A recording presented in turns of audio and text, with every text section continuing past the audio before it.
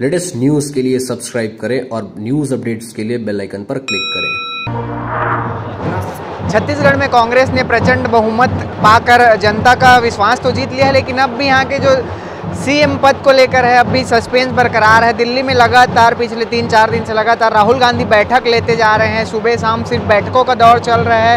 आखिरकार एक नाम तय हुआ था, लेकिन उसको लेके भी पार्टी के कुछ नेता ने विरोध जताया। उसके बाद फिर दोबारा बैठक शुरू हुई। आखिर ये सस्पेंस इतना क्यों बरकरार है, इसको जानने के लिए हमारे साथ कांग्रेस कमेटी के प्रवक्ता धनंजय सिंह ठाकुर है। ठाकुर जी, इतना सस्पेंस और इतना इंतज़ार क्यों? किसी प्रकार का कोई सस्पेंस नहीं है और थोड़ा इंतज़ार करना पड़ता है। पंद्रह साल बाद छत्तीसगढ़ में अच्छे दिन की शुरुआत होने जा रही है। जिस प्रकार से पंद्रह साल में कुशासन और भ्रष्टाचार की सरकार थी तो निश्चित तौर बदलाव जो हुआ है परिवर्तन हुआ है और अच्छे दिन की शुरुआत हुई है। किसानों का कर्जा माफ़ होगा बिजली बिल फाफ होगा तो थोड़ा सा इंतज़ार करना पड़ेगा और बहुत जल्द हम छत्तीसगढ़ मुख्य कौन होगा ये जनता को बता देंगे।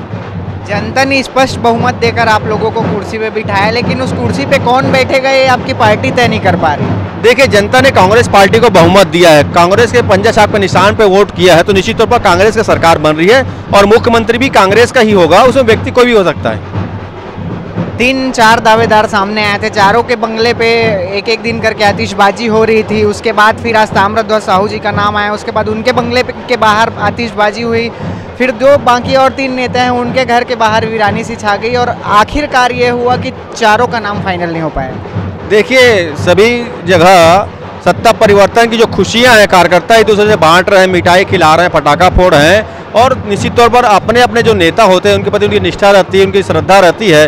उनके प्रति उनका जुड़ाव लगाता है लगाव रहता है तो वहाँ कुछ खुशियाँ ज़्यादा दिखती है। ऐसा नहीं है किसी की नेताओं के बंगले में वीरानी है। सभी जगह आप जाकर देख लीजिए छत्तीसगढ़ के नब्बे विधानसभा में चले जाइए। हर कार्यकर्ता कांग्रेस कार्यकर्ता खुशियाँ मना रहा है मिठाई बांट रहा है क्योंकि सत्ता परिवर्तन हुआ है। और उस सत्ता को हमने बदला है जो किसानों के लिए हित, हितकारी नहीं था जो युवाओं के लिए हितकारी नहीं था जो महिलाओं के लिए सुरक्षा प्रदान करने में जो फेलवर रही है। तो खुशियाँ तो पूरे गाँव गाँव में दिख रहा है कांग्रेस सरकार बनने की। किसानों के चेहरे में जो चमक लौटी है वो कांग्रेस सरकार बनने के खुशियों में लौटी हुई है जो कांग्रेस संकल्प उसके कारण लौटी हुई है। और कहीं भी कुछ वीरानी नहीं दिख रही है। आखिरी सवाल छत्तीसगढ़ को सीएम कब मिलेगा? छत्तीसगढ़ को सीएम मिल चुका है। जब कांग्रेस सरकार बन चुकी है तो निश्चित तौर पर जैसे हमने चुनाव में सीएम का चेहरा घोषित नहीं किया और हमने अपनी रीति नीति और सिद्धांतों से चुनाव लड़ा है तो निश्चित तौर पर हमारे रीति नीति और सिद्धांत ही सबसे बड़ा मुख्यमंत्री होता है, क्योंकि हमारे पार्टी जो उसी में काम करती है और व्यक्ति जो बैठेगा, कुछ दिन में आपको मालूम चल जाएगा। बहुत बहुत धन्यवाद तो ये थे हमारे साथ कांग्रेस पार्टी के प्रवक्ता धनंजय सिंह ठाकुर जी जिनको कहना है कि बहुत जल्दी छत्तीसगढ़ को सीएम का चेहरा जो कांग्रेस की ओर से होना है वो मिल जाएगा बहरहाल अब देखना ये है कि आखिर कौन सीएम बनता है और किचकी ताश पोशी होती है कैमरा पर्सन चन्नू सिन्हा के साथ Shrikant Yadu clipper twenty Raipur For more news updates, do subscribe, like, share and comment. Clipper 28.